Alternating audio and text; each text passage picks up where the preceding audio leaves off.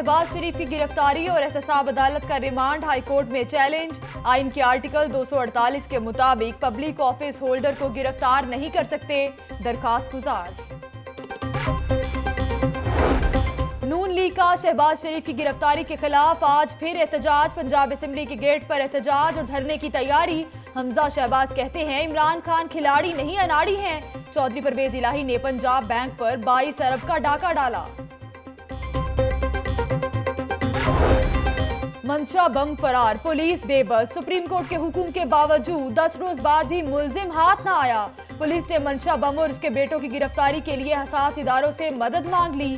منشا بم کے بیرون بلک فرار ہونے کا خدشہ۔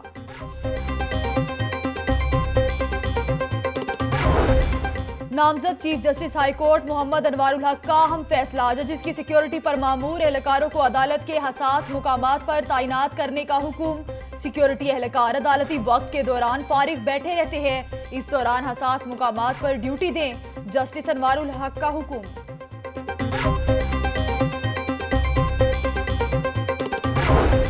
چھ افراد کے قتل کا case. M N A Abid Raza کی سزا کے خلاف اپیل پر فیصلہ۔ آج سنایا جائے گا۔ ہائی کورٹ نے مدعی سے راضی نامے کی بنیاد پر بری کیا۔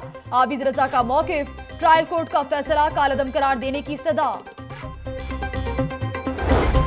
تین بچوں کو قتل کرنے والی سنگ دل ماں کا معاملہ۔ انیکہ نے تینوں بچوں کو اپنے آشنا کے ساتھ مل کر قتل کیا۔ بچوں کو رات کے اندھیرے میں منہ پر جائنماز رکھ کر مارا۔ پولیس نے ملزمہ نیکہ کے خلاف چالان سیشن کورٹ میں جمع کرا دیا۔ سکینڈل کوئن میرا کا ایک اور سکینڈل ڈیفنس میں شہری کا دکارہ پر گھر پر غیر قانونی قبضے کا الزام۔